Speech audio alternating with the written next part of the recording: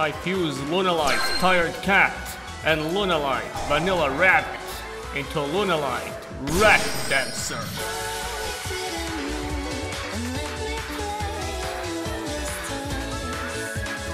I guess it would be a bit disingenuous of me to say that Lunalights were the most enjoyable archetype to come out of Arc 5's lineup of girls, but really, what was the competition? Melodious, which interrupt their own game plan, Wind Witches, more of a synchro engine than anything, and Lyrilusks, which had a boss monster so poorly designed it led to the premature banning of two cards completely unrelated to the archetype. Despite being a relatively small archetype, capping out at 13 cards, and arguably lacking in spell and trap support, Lunalights don't feel ostensibly unfinished or poorly designed, and they focus on a fairly unique approach to fusion-based OTK strategy. Also have a bit of an awkward name in the TCG, simply being named Moonlight in the OCG, but I'd rather take an awkward localization over having Except Maiden of the Moonlight and the Black Rose Moonlight Dragon in every card effect. So let's kick it off with our first monster, Lunalight Black Sheep, a level 2 Dark Beast Warrior with 100 attack and 600 defense, which you can discard to activate one of the following effects. Add one Lunalight monster from your graveyard to your hand except Lunalight Black Sheep, or add one Polymerization from your deck to your hand. If this card is sent to the graveyard as a fusion material for a fusion summon, you can add to your hand one face-up Lunalight Pendulum monster from your extra deck, or one Lunalight monster from your graveyard, except Lunalight Black Sheep. Black Sheep is an absolute 3-off in any build, because the importance of a poly searcher in a fusion-based archetype can never be understated, but its other effects play into the card's importance as well. Not only does it search polymerization and offer monster recovery without taking up your summon, but it can also be a considerable combo extender when used as a fusion material due to the secondary recovery effect. The two Lunalight Pendulum monsters don't really tend to find themselves face up in the extra deck too often, but the option is overall nice to have. There's not much reason to run any less than 3 sheep. Next up is Lunalight White Rabbit, a level 2 with 800 attack and defense, and when this card is normal summoned, you can target one Lunalight monster in your graveyard except White Rabbit, special summon it in defense position. Once per turn, you can target spell and trap cards your opponent controls up to the number of other Lunalight cards you control, return them to the hand. The revival effect seems pretty powerful at first, and while it's true that it helps out with recovering fusion materials or triggering some special summon effects, the fact that it takes up the normal summon puts a bit of a dent in the card's usage, as there's a certain other monster you would most rather save up your normal summon for. The back row removal effect is cute, but by the time you have several other Lunalights on the field alongside Rabbit, the effect probably doesn't have much utility outside of removing potential battle traps, which are barely ran nowadays. Rabbit has enough utility to warrant one or two copies, but don't run three though, it's just too much. Who can handle that many rabbits? Lunalight Purple But but oh, mm, whoa. Lunalight Purple Butterfly is a level 3 with 1000 attack and defense, which you can send from your hand or the field to the graveyard, then target one Lunalight monster you control, it gains 1000 attack until the end of this turn. You can banish this card from your graveyard, special summon one Lunalight monster from your hand. You can only use this effect of Butterfly once per turn. It's fine, nothing offensively bad or ostensibly amazing about it. A simple attack boost that sets up the graveyard and gives a neat floating effect. I could think of worse butterflies. It doesn't hurt to run a couple of them, but don't stack up on too many. Next we have their first Pendulum monster, Lunalight Tiger.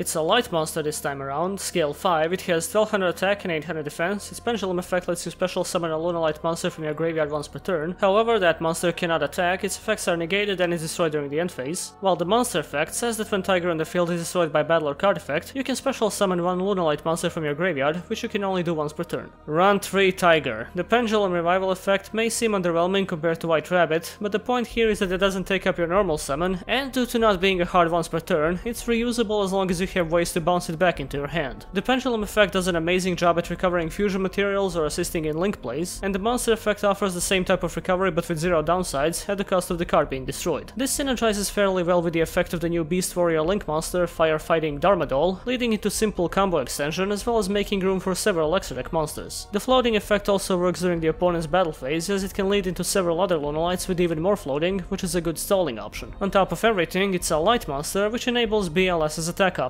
Tiger is an absolute staple and should never be left out. Another staple in our first level 4 is Lunalight Kaleido Chick. Kaleido is not a color, it's a it's a level 4 with 1400 attack and 800 defense, and once per turn, you can send one Lunalight monster from your deck or extra deck to the graveyard. The name of this face-up card on the field can be treated as the sent monsters if you as fusion material this turn. If this card is sent to the graveyard by a card effect, you can target one polymerization in your graveyard, add it to your hand. You can only use this effect of Lunalight Kaleido Chick once per turn. If this card is banished, you can activate this effect. This turn, your opponent's cards and effects cannot be activated during the battle phase. Funny story, people used to run fusion tag in Lunalights for a straight year before Kaleido Chick was released. I know, what morons! The insane level of synergy this card has with the rest of the archetype is downright ridiculous. Being able to dump any Lunalight from the main and extra deck, along with copying its name for a fusion summon, makes for one of the most versatile archetypal monsters in the game. The dumping effect leads to amazing graveyard setup, mainly due to enabling a 2-card combo for their best fusion monster, which we'll get to in a few minutes, securing a Lunalight monster in the graveyard for their Miracle Fusion card, as well as simply copying the name of one of their fusions, which offers a shortcut in their 3-step ladder. A detail to keep in mind is that it sends a monster to the graveyard as cost, so you can activate this effect to dump a Lunalight even when under negation. Recycling polymerization is also kind of a big deal, leading to potential play extension or a comeback later on, and the banish effect offers a good amount of battle phase protection from, I don't fucking know, Nutrient Z. Ain't nothing like a good Mountain Dew!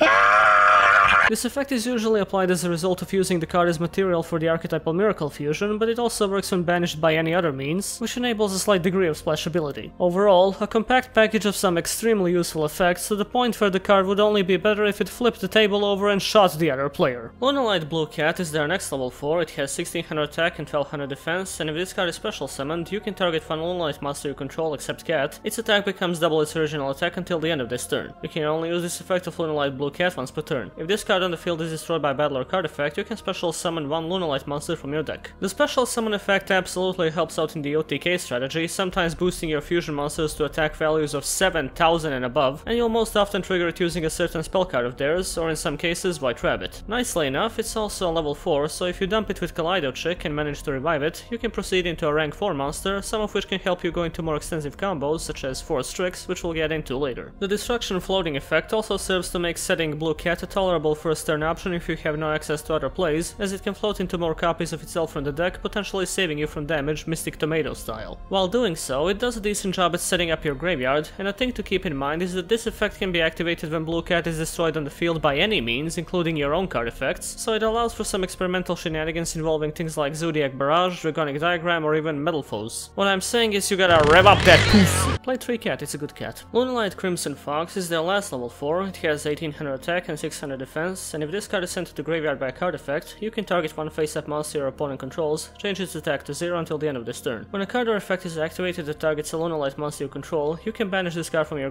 graveyard, negate the activation, and if you do, each player gains 1000 life points. It's not bad or anything, in fact it can be a lot more helpful than Blue Cat in some situations, it's just that the archetype already has enough access to Fox's utility without having to resort to its effects. By all means it's a fine choice, it can make your fusions hit extremely hard, but Blue Cat already happens to have a similar effect, and it offers some targeting protection with a strange life point gain drawback, which is a tad unnecessary because the Lunalight fusion monster you end up summoning most of the time already has built-in targeting immunity. Run by preference, but I wouldn't screw around with it too much. Their final main deck monster is Lunalight Wolf. Jesus Christ, more like Lunalight. Oof. Wait, just cut that from the script. It's a level 6 with 2000 attack and 1800 defense, scale 1. Its pendulum effect says you cannot pendulum summon monsters except Lunalights. This effect cannot be negated, and once per turn, you can fusion summon one Lunalight fusion monster from your extra deck by banishing fusion materials listed on it from your field or graveyard. Its monster effect simply allows Lunalight monsters you control to inflict piercing damage when attacking. That's your Miracle Fusion, at least in the pendulum zone. This is what you activate after properly filling up the graveyard, and the best part is that you can basically do it every turn until it gets popped. It also activates Kaleido Chick's effect for that delicious Armades beatdown, however the monster effect is not particularly impressive, and the card's level prevents it from being pendulum summoned due to Tiger's scale 5. Playing 3 can be a bit cloggy, but 2 is perfectly fine. Their first fusion monster is the level 7 Lunalight Cat Dancer. It's got 2400 attack and 2000 defense, requires 2 Lunalight monsters, cannot be destroyed by battle, and once per turn, during your main phase 1, you contribute one other Lunalight monster for the rest of this turn. The first time each monster your opponent controls would be destroyed by battle, it is not destroyed.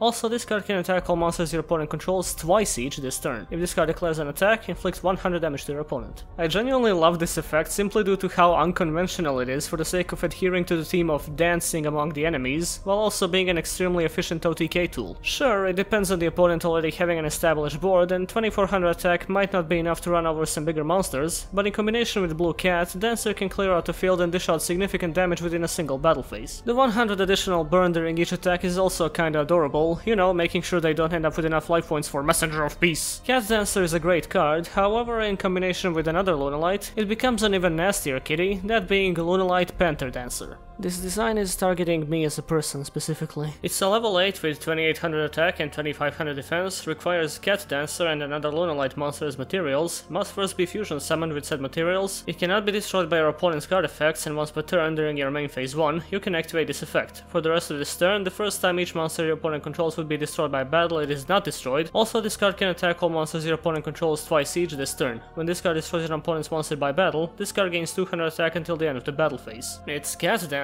but harder. And that's the opposite of a problem. Panther Dancer is inherently better, having the same double attacking effect, but with more attack points, gaining 200 after each fight and not requiring a tribute to activate it. Alongside that, it's immune to destruction effects, which aren't too commonplace nowadays, but it can still save you from the occasional piece of removal. Additionally, here's where Kaleido Chick's dumping effect comes into play, being able to load up the graveyard with Cat Dancer, after which you can proceed to use Wolf's effect for a quick Miracle Fusion into Panther. Not much to say here, except that it's worth running about as much as the previous fusion. However, I think you'll find yourself dumping Panther Dancer with Kaleido Chick a lot more than the cat, mainly due to their final fusion monster, Lunalight Leo Dancer. This majestic level 10 has 3500 attack and 3000 defense, requires a fusion of Panther Dancer and two Lunalight monsters, must be fusion summoned with those fusion materials and cannot be special summoned by other ways. Cannot be targeted or destroyed by your opponent's card effects. This card can make a second attack during each battle phase and once per turn, at the end of the damage step, if this card attacked a monster, you can destroy all special summoned monsters your opponent controls. I don't think it takes a zoologist to figure out that Leo Dancer is what you want to shit out onto the field as fast as humanly possible when playing this deck. Huge attack value, especially when combined with Blue Cat, complete field wipe after the first attack, a fat 3500 plus damage output right into the opponent's face after the second one, and a very solid amount of protection in case you end up going first. This card is what makes Panther the ideal extra deck target for Kaleido Chick unless you're aiming for more extensive combos, but let's be real. Who needs combos when you have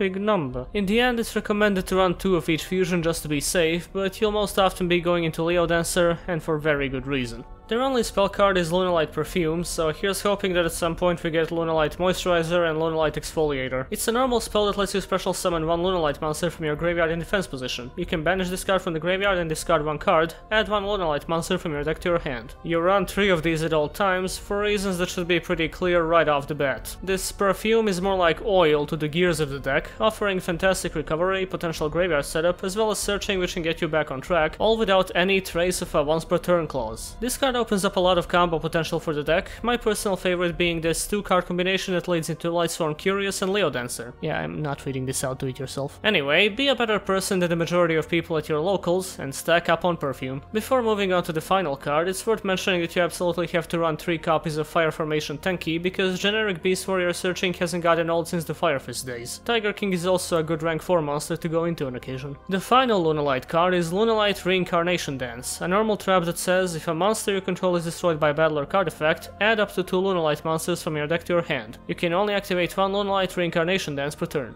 I don't think I'm even gonna activate one per turn, because I'm not gonna run it. Jokes aside, it's not an awful card or anything, but the deck has just about enough searching utility to basically invalidate this card's existence. Also, what's Rabbit doing there, trying to mop up the moon? And now we rate cats. Consistency gets a 3. Sometimes you open well enough to turbo out a Link monster and two Leo dancers, and sometimes you set Blue Cat face down and pass. Could be better, but could be worse. Thank god Tenki exists. Power is a very clear 5. It's an OTK archetype focused on multiple attacking, occasionally enabling OHKs when you smack the opponent in the face with more than 8000 points worth of damage. The recovery is decent. Rabbit, Tiger, Perfume, and especially Wolf give you enough options in the revival and recycle department to get you back into the duel and warrant a score of 3. They're kinda lacking in the protection department as an archetype overall, however their most important monster has a decent amount of immunity, so because 2.5 isn't a grade, I'm a bit harshly gonna round it down to a grade of 2. Their versatility amounts to a lot of crazy stuff you can do in combination with the floating effects of Cat and Tiger, such as using Zoodiac Barrage and Chakanine for link spamming, applying the light and dark attributes of the archetype for chaos variants, and due to Wolf's effect, there's a good amount of synergy with decks focused on milling, enough variety for a score of 3. Here's my fairly standard build, using a couple of copies of Armageddon Knight as well as a few hand traps, also some slightly unconventional choices such as Zephyros for bouncing back Tiger. When it comes to OTK based archetypes adapted from the anime, they usually don't amount to much beyond a linear flavor of the month playstyle that ends up having a two digit number of long term fans, but Lunalights were apparently blessed by the moon or something because evidently people find ways to experiment with them to this very day and find all kinds of strategies to employ with just these few cards. While as we learned over the ages, the power of Best Girl is a force to be reckoned with, or it used to be before it was put inside a beaker. Oh well, can't please everybody.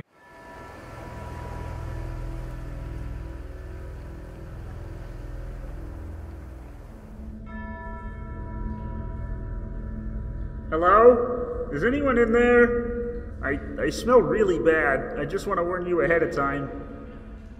Wow, it's just like home in here, except less flammable. A visitor? Oh, it has been so long.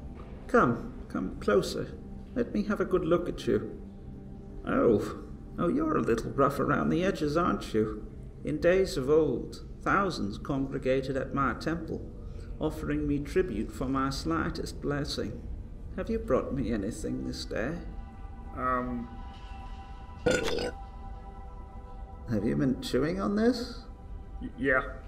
I'll take what I can get. I'll grant you one wish. Anything you ask, and it will be yours. Wow. Anything, huh?